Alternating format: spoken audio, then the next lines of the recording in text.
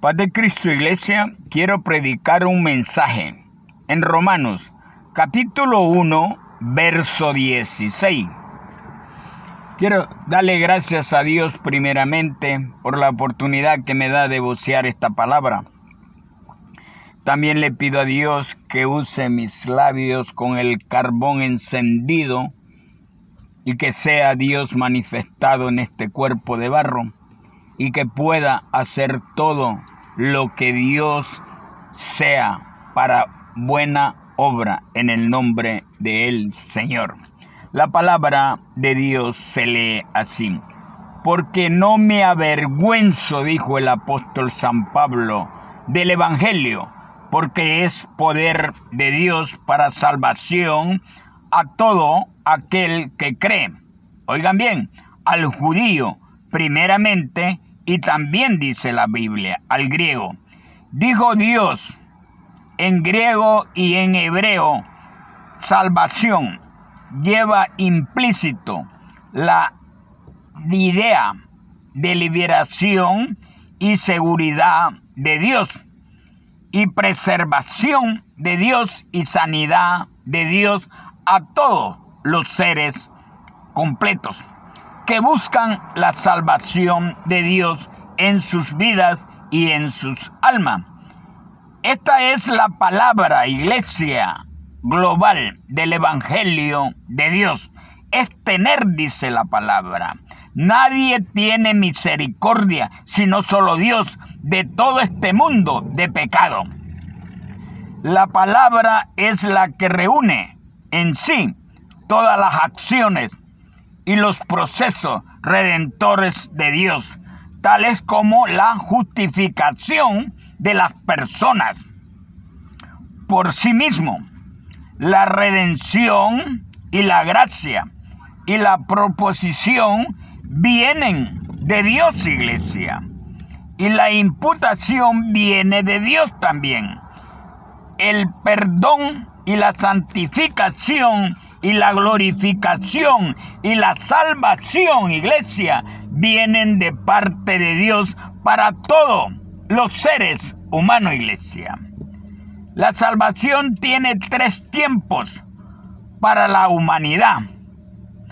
El apóstol Pablo dice, pues no me envió Cristo, dice, a bautizar, oigan bien, sino a predicar lo mandó el Evangelio no con sabidurías humanas, como están ahorita predicando con sabiduría humana, la palabra para que no sea vana, dice la Biblia, la cruz de Cristo.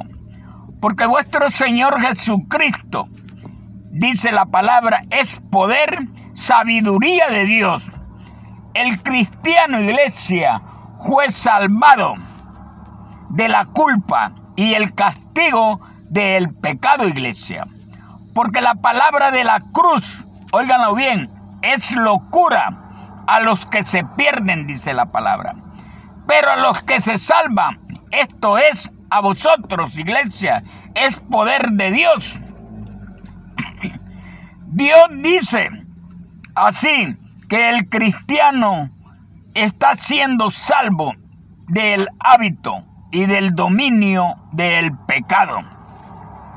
La palabra de Dios dice así, ¿no sabéis que si os sometéis a alguien, oigan bien lo que estoy hablando, como esclavo, para obedecerle, sois esclavo de aquel a quien obedeces, sea del pecado para muerte, o sea, de la obediencia de Dios para justicia.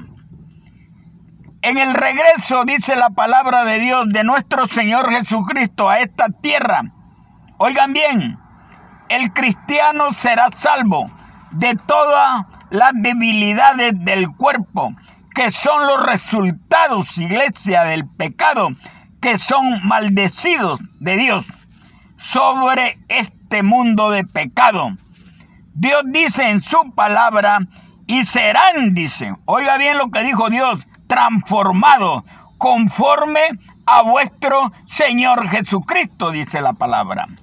La salvación, iglesia, es por gracia a Dios mediante la fe en vuestro Señor Jesucristo y es un regalo y es enteramente sin obras, porque el orden divino de Dios es primero la salvación, luego las obras, iglesia.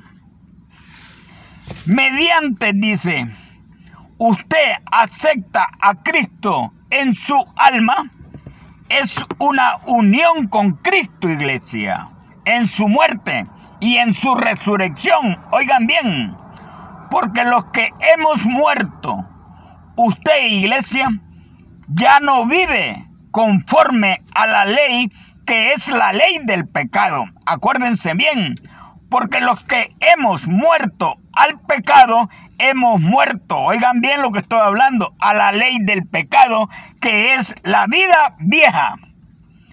Ahora, iglesia, vivimos una vida nueva con Cristo Jesús. No sabéis, dice la Biblia, esto que todos los cristianos que han aceptado, oigan bien, a Cristo, han sido bautizados, oigan bien, en su muerte. Pues nosotros, iglesia, somos sepultados juntamente con Él para muerte. Y por el bautismo, cuando usted acepta a Dios en su vida y en su alma.